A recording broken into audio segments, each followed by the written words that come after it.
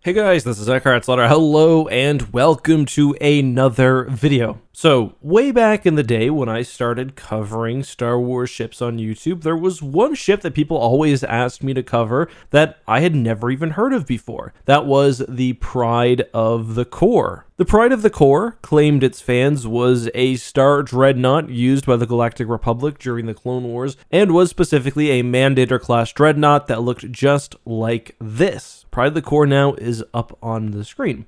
So, why hadn't I ever heard of this ship? What is the Pride of the Core? Well, that's what we'll be talking about today. And this is an interesting subject because this is one of those times where Star Wars fanon becomes so well known that people start to think that it's real. The Pride of the Core is not actually an official ship within the Star Wars continuity. It was, in fact, a fan made design for the Mandator class by a very well known Star Wars modder known as EvilleJedi, and there's others that helped as well. I'll include their credits on the screen right right now. The reason why when I started YouTube I wasn't familiar with the Pride of the Core is because by that point I hadn't really played a whole lot of Empire at War, and certainly not the Empire at War mods that this ship appeared prominently in, including Awakening of the Rebellion and the various Clone Wars mods. And when I tell you that this ship was very, very popular, I'm definitely not over exaggerating. So popular, in fact, that the Pride of the Core actually somewhat made its way into Star Wars canon, but we'll get to that in a second. So, EvilleJedi and various other modders in the Star Wars Empire at War community created a bunch of ships which would make their way into a ton of mods because they made the models and they released them for free and allowed other modders to use them. And that's why if you ever play Empire War mods, a lot of them just become basically asset repackaging, taking the models which other mods have created,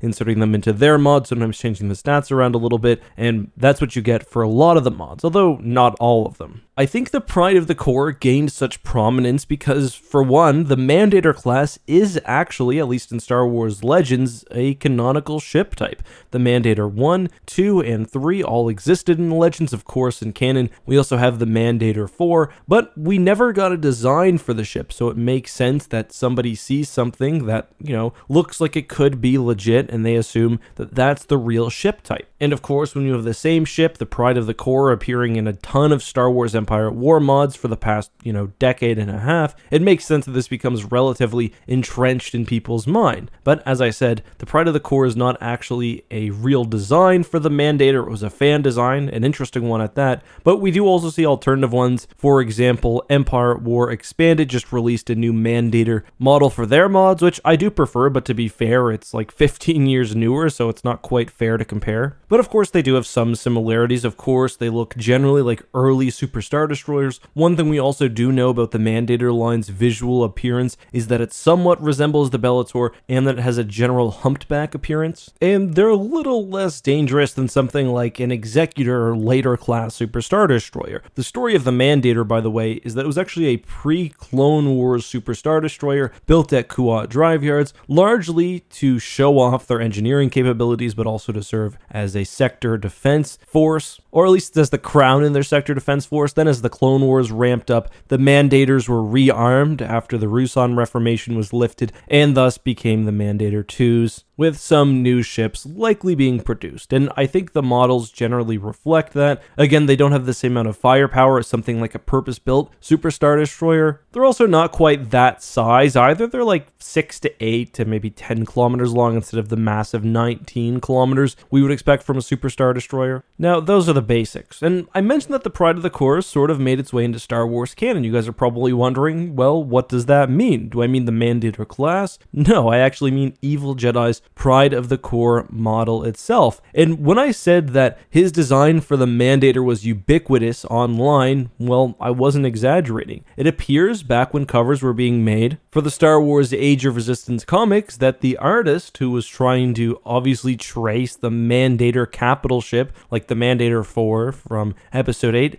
instead Googled Mandator and ended up tracing the Pride of the Core. So we see in this shot with Hux that the Mandator is there, EvilleJedi's model, the Pride of the Core. Not a great look for Star Wars because not only are they tracing fan art, but they're tracing fan art of a non canon ship design, so there's that. It was extra funny because it was used for the puzzle piece cover, which is sort of like the collectible comic edition. Anyway, that was fixed before the comic went to print, sort of at least. They replaced most of the Pride of the Corps with the Resurgent class Star Destroyer. However, if you look, there is one that remains in the corner, which is super funny. So that's my coverage of the Pride of the Core. Very interesting ship. I think it looks good in Empire War at the time, but it definitely does lack just because of the technological limitations of when the ship was designed. I'm sure EvilleJedi, who's a great modder who did lots of models for various things, would improve it if he took another shot at it today. But I do think it's got a very interesting side profile, especially. It looks almost like a Mon Calamari ship, which is definitely very different than what we get with most SSDs. But guys, that's all I have for today. Until next time, be safe, have a good one, and may the Force be with you.